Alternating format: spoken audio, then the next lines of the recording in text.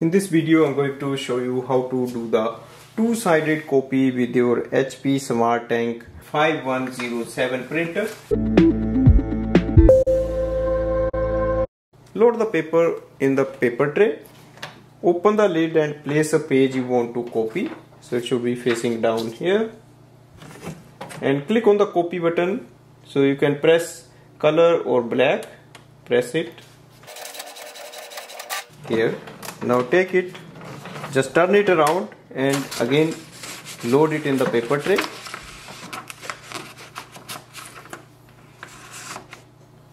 Now place the second page you want to copy.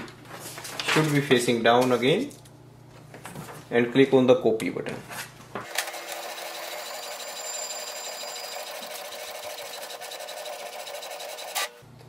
So we can see. So that's the easiest way we can do the two-sided copy with this printer. And the second is to copy the ID so this printer has an inbuilt feature to copy the ID properly on the same side of the page. So open the lid and place the ID you want to copy. So that should be facing down like this. Go to the printer display panel. Here you will see the ID so press the ID button and then press the copy button. So we have done the one side of the copy.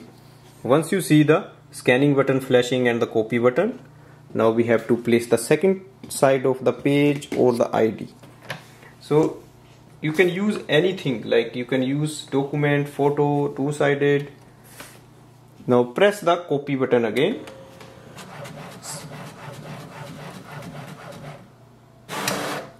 Here we can see it has done the copy of the ID so this way we can do the copy of the ID and copy on the two side of the page using this printer. Thanks for watching.